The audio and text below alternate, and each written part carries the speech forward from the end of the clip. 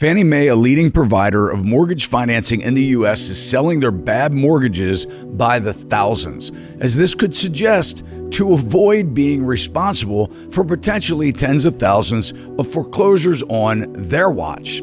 Something that would be bad for business for this government sponsored entity. Mainstream media reports the economy is doing great, the housing market is strong, and jobs have never been better. Well, why aren't they reporting the fact that over 1 million households would be on the street if not for mortgage forbearance and loan modifications, where still thousands of households across America are not able to pay their mortgage payments? This is probably one of the reasons that Fannie Mae is selling pools of non performing loans and what's called reperforming loans to investor groups who probably can't wait to own a large percentage of these homes where they purchased mortgages on for 35 to 50 cents on the dollar to what real estate brokers say the properties are actually worth. Many of these defaulting and once defaulting homeowners have avoided foreclosures due to years of mortgage forbearance programs and a multitude of loan modification programs to keep them in their homes, regardless of their ability to pay as agreed for one reason or another.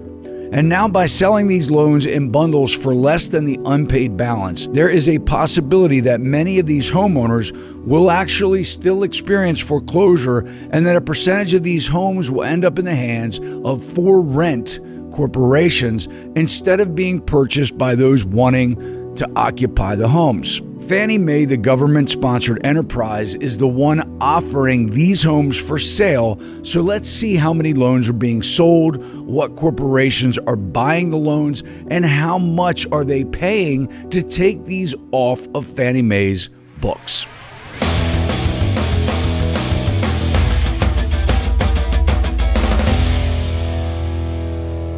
Welcome back to this week's real estate Q&A where we address concerns regarding the US housing market as well as address 5 comments or questions from the last week on Sachs Realty's YouTube channel.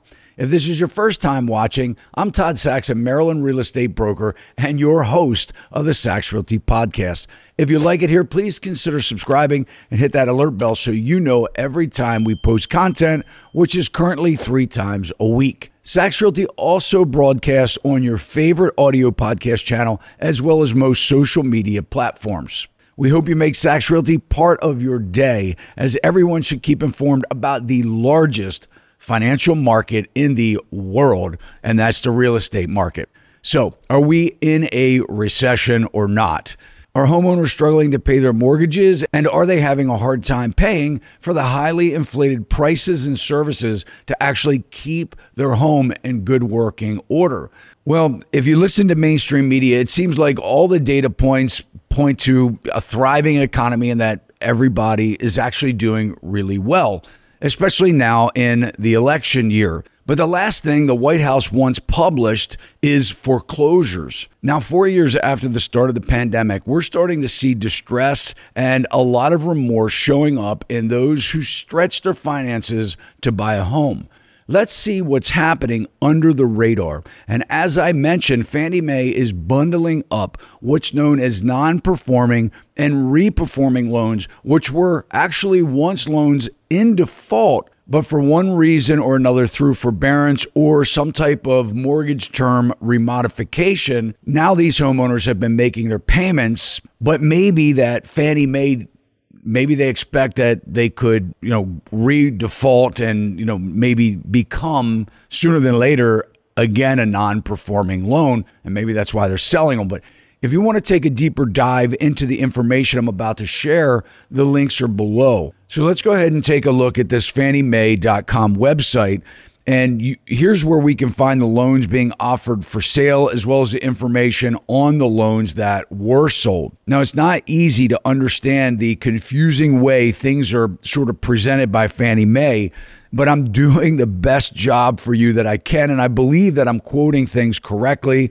And I'm sure if I'm not, Fannie Mae will step in and correct me.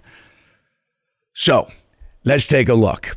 So here we have uh, whole loan sales and and we'll just kind of go through it a little bit. And like I said you can deep dive into it later yourself if you care to. Non-performing loan sales. Fannie Mae sales of non-performing loans which are part of the Federal Housing Finance Agency's 2015 conservatorship scorecard are intended to reduce the number of seriously delinquent loans that Fannie Mae owns. So essentially, let's get them away from the government sponsored enterprise that originally bought these loans and get them to somebody else that will deal with the foreclosure process potentially. Reperforming loans, as I had mentioned before, on October 11th of 2016, Fannie Mae began remarketing its first sale of reperforming loans as part of the company's ongoing efforts to reduce the size of its retained mortgage portfolio as indicated above. Reperforming loans are mortgage loans that were previously delinquent but are performing again because payments on the mortgage loan have become current with or without the use of a loan modification plan. Now, these loan modification plans that, that uh, they're talking about or that we've talked about for the last couple of years since they began doing them post COVID, a lot of them take a large percentage of their balance up to 30% and recast that to a non interest, non payment second mortgage that is only due upon the sale or the final payment of the actual mortgage or if they refinance or something like that, it would become due. But this has tremendously dropped a lot of the people that haven't been able to pay as agreed, like they planned to when they first said yes to their home. Um, so this has allowed them to pay a lot less now and uh, stay in their home. But let's just scroll through here because I want to just dive into a few and go over the numbers. But as you can see, this is listed in chronological order according to the year and the month.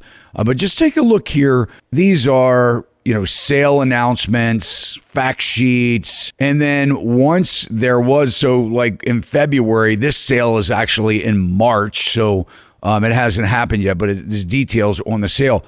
But then when we get into the next you know, uh, batch of months and years, you can see they have a post sales news release where they kind of dive into, you know, who bought them, how much they paid for it, you know, what percentage of the unpaid balance they paid.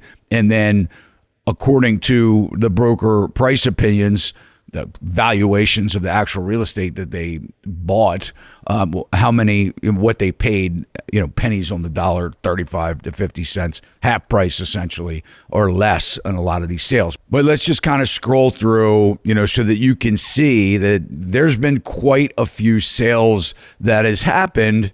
Now we're in 2021 post COVID. So, first up, let's take a look at this uh, press release where Fannie Mae announces the sale of non performing loans. This is dated February 8th. NPL 2024 1 includes the company's 23rd community impact pool offering. One large pool includes approximately 1689 loans totaling 247.3 million in unpaid principal balance which is known as UPB.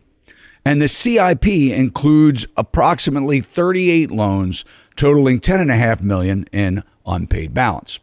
Now, the bids are due, like I said, on March 5th, uh, but uh, and then the CIP on March 19th. And the CIP is what is called the Community Impact Pool. And that basically means that they bundle up loans in a specific geographical area and they offer this to smaller investors uh, so that they can. Um, take part of buying these defaulting or once defaulting mortgages. Now, let's analyze a few that have already closed. Now, this one was February 13th. Fannie Mae announces the result of its 13th reperforming loan sale transaction. Says Fannie Mae today announced the result of its 13th reperforming loan transaction. The deal announced on January 11th included the sale of 2,722 loans totaling 499.6 million in unpaid principal balance offered in one pool. The winning bidder was Pacific Investment Management Company, which we're about to take a look at here. It's expected to close by March, but let's take a look at this pool. The 2,722 loans. Uh, the average loan size was about 183,547. The cover bid, which is the second highest bid for the pool, was 82.375% of the unpaid balance. So, you know, almost 90% of what was unpaid is what they ended up paying for the the uh, the pool of mortgages. But here's the the clincher: when a bank is evaluating a defaulting loan, a defaulting mortgage, they will call a real estate broker like myself, and they'll say, "Hey, we need to do a broker price opinion on this house." Now, you're not allowed to go inside, but you do more of like a drive by, you take pictures, you show comparable sales, overall condition, the way the house looks on the outside, and they come up with a broker price opinion of what that house should be worth. They purchased this based on what the the brokers thought the properties were worth at 33.45 cents on the dollar essentially. So, who is PIMCO? The the buyer of these loans. If we go to pimco.com, it says right on their website, opportunistic real estate. PIMCO's opportunistic global real estate investments span real estate equity and distressed debt.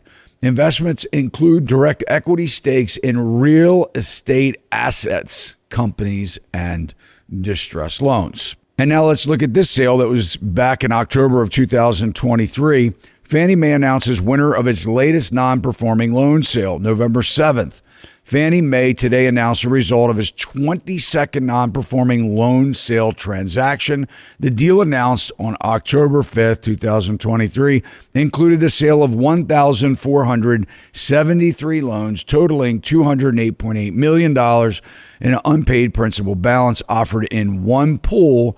The winning bidder of the pool of the transaction was RCAF Loan Acquisition LP, also known as Pretium. The cover bid was the second highest bid for the pool. It was 98.12% of unpaid balance or 38.17% of the broker price opinion.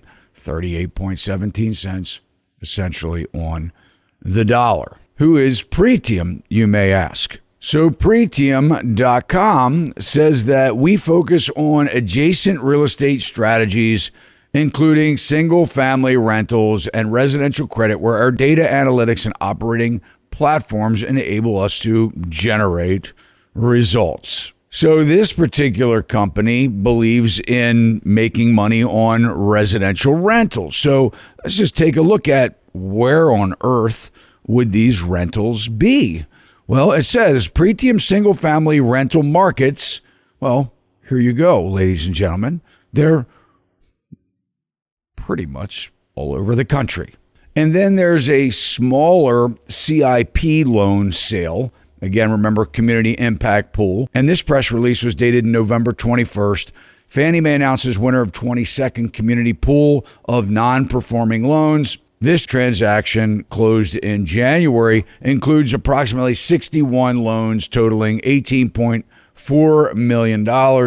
This particular one was bought by 510 Residential Loan Acquisition 5 LLC, which appears to be owned by 400 Capital. And the cover bid, which was the second highest bid for the CIP, was 82.12% of unpaid balance, resulting in 30.89 cents on the dollar or 30.89% of what the broker price opinion was. And uh, here on 400 Capital, um, they say that they have performance throughout the credit cycle. 400 Capital Management asks 400 Capital Management seeks to achieve high absolute returns with low volatility. Now, I won't continue to bore you with all of these details, but I do want to show you the last sale offering dated back on September 12th, 2023, because this is really when everyone was touting about how job gains were happening and the economy was resilient, very strong. And, you know, despite raising the rates, you know, nothing really was happening, uh, especially with the housing market.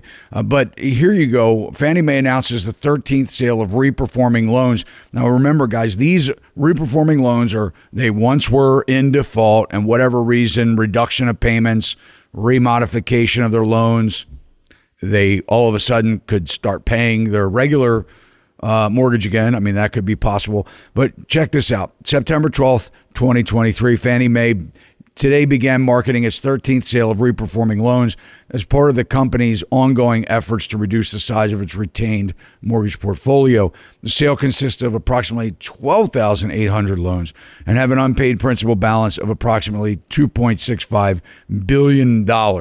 Now, um, as I said, you know, just to clarify here, reperforming loans are loans that have been or are currently delinquent but have reperformed for a period of time. These terms of Fannie Mae's reperforming loan sale require the buyer to offer loss mitigation options to any borrower who may redefault within five years following the closing of the reperforming loan sale. All purchasers are required to honor any approved or in process loss mitigation efforts at that time of sale, including forbearance arrangements and loan modifications. In addition, purchasers must offer delinquent borrowers a waterfall of loss mitigation options, including loan modifications, which may include principal forgiveness prior to initiating foreclosures on any loan. So, you know, the question would be, you know, why are they buying these? Obviously, they're buying them at a very safe level. Uh, but I think the cautious thing here is a lot of the the loans that are um, being purchased by these companies are companies that are in real estate investments, um, and many of them have rental property. So you know, one would think that they're probably hoping that uh, they can pick up some of these houses. And the frustrating part, I guess, for me is why aren't we offering these directly to consumers? You know, I get it. I, I, I understand that we have to be sensitive to those that, uh, you know, took obligations that for one reason or another they can't keep. Um, they can't keep their obligation to the bank and pay as they originally signed or agreed to when they bought the home. The lesson here, what are we teaching people with the lesson of this? Well, I mean, I mean, we're pushing them to buy houses. We're putting these loan programs in place where they don't have to put, where they put very little money down, very little skin in the game. And then we remodify it for the ones that can't pay. And the ones that can pay continue to pay and pay dearly for the competitiveness in the market for this kind of uh, forgiven behavior. So, anyway, um, I, I just want to bring you guys up to speed with this really because you're not hearing all of the components and all the pieces that are really happening in the housing market. And really, I mean this for my first time home buyers, people that have never bought a home before, because these folks that have defaulted on their mortgages weren't expecting that when they when they said yes, when they agreed to overpay in some cases for a home and with little money down, with no money in the bank or little money in the bank as reserves to where if something happened financially um, to them, they could sustain it for six months or so. So, anyway, let's go ahead. We'll get started on this week's comments and questions. And to kind of go along with what I just spoke about, uh, here, one of our comments, uh, Judy Fabian. She says, I'm looking for a home in a specific area of Florida where I don't live, but follow the data. There's one agent who does videos only on new home developments. Every video, he says, buy now and you will have built in equity. Absurd, as the unsold inventory is huge. And behind the scenes, builders are doing price reductions, self promotion for a commission is not ethical. Now, let's just boil this down for a minute because I'm not against new home construction. I think it could be a great way to get in the market if you're ready and prepared to buy. Should we take advantage of these offerings, these price reductions that we are seeing builders do?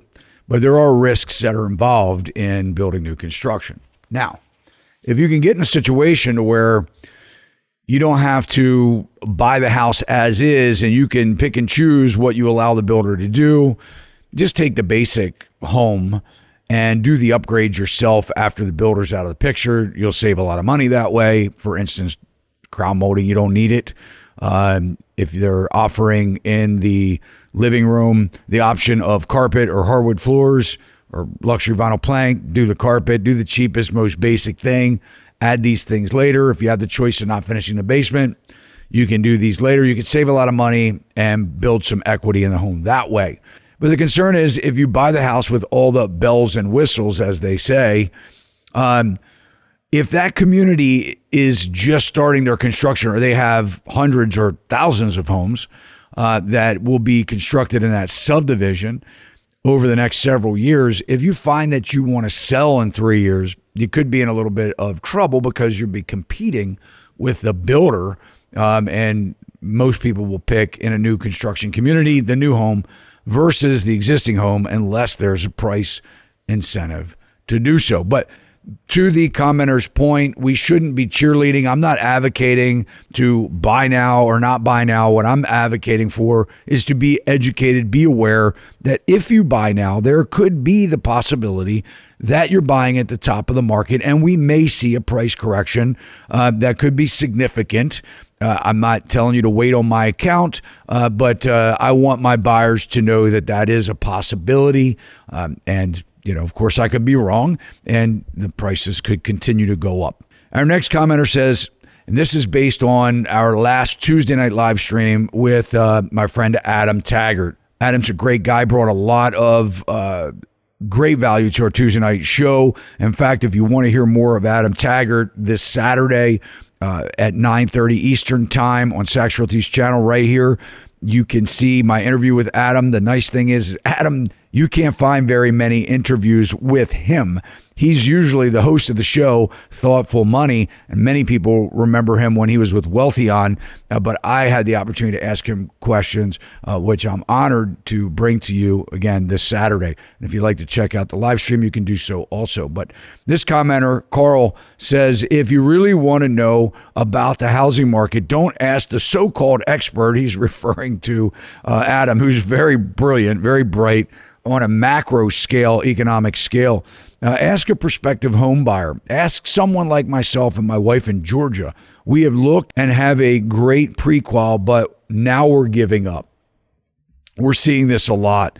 Uh, in fact, Adam uh, called it uh, doom spending. So, what we're seeing is a lot of people are giving up hope of ever buying a home, which is terrible. And what they're doing is instead of saving their money and paying off their debt, they're creating more debt and spending their money.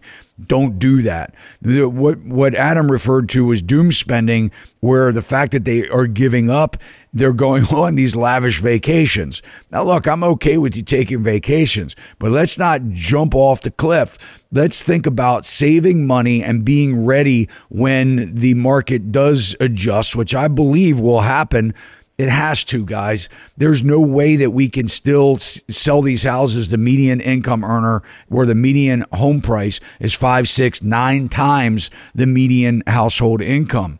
I think we're going to see a massive correction, uh, and I think it's going to result from more inventory finally hitting the market. Our next commenter says not only are incomes not keeping up with the overpriced housing bubble, just like I said here, uh, but we're now starting to see layoffs and big corporations cashing out their stock. There's going to be a lot of people holding the bag with this, and it will not end well.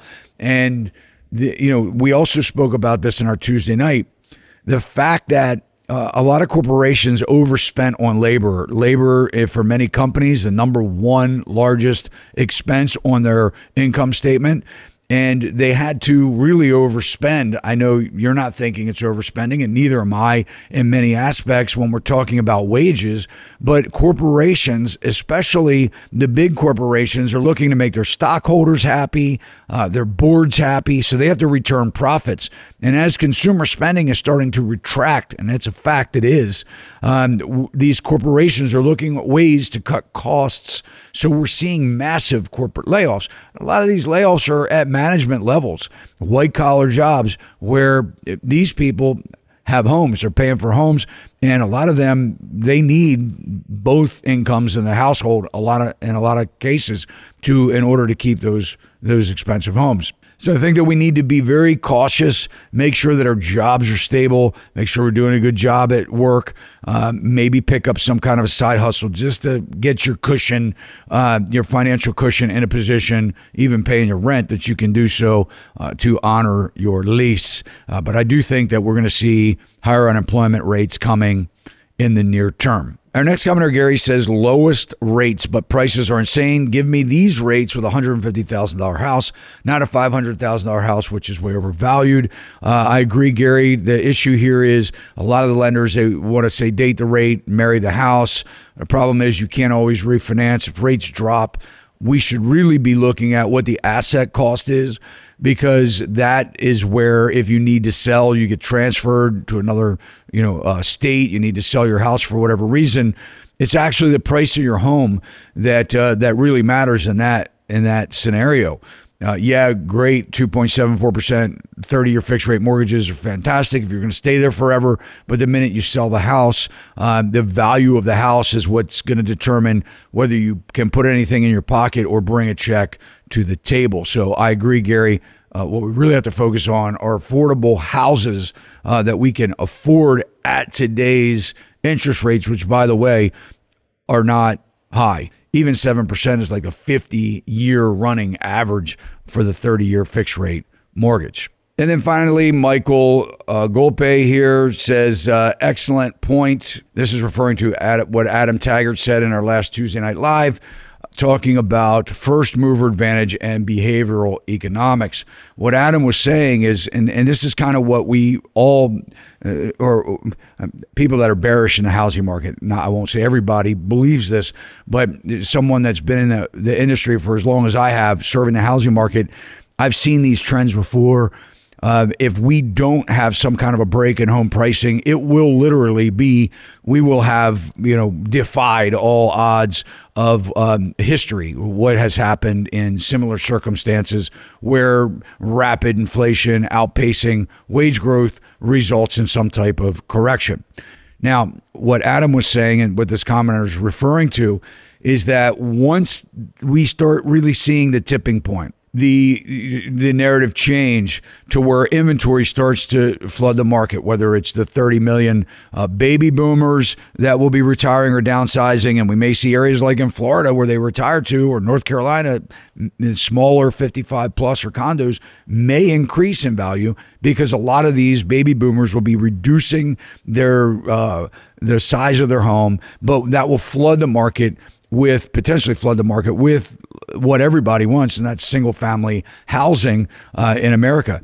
So 30 million potential over the next you know five years or so uh, could hit the market of the baby boomers downsizing. They call that a silver tsunami, um, and then not to mention the fact that there may be a lot of short term and long term rentals hitting the market where people got into business and realized it, it, wasn't worth it. And they come back to market as well as other people just deciding to sell their second homes to free up some some cash and stop the bleeding with the rising cost of like insurance and things like that. But what adam was saying is that once that tipping point starts to happen we might see where hey i want to be the first to sell before i don't want to be at the bottom of this pile.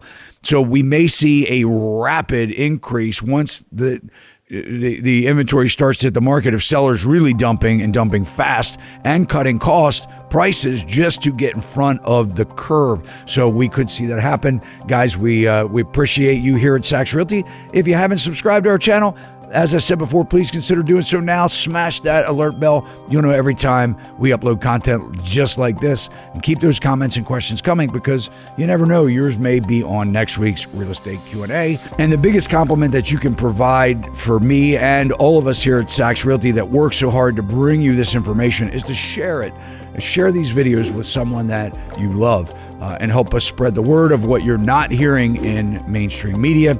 And uh, if you like the video, you can hit the thumbs up. It'll let me know you did. See you next time. Sachs Realty, Maryland broker number 607720, office number 443 318 4514, equal housing opportunity.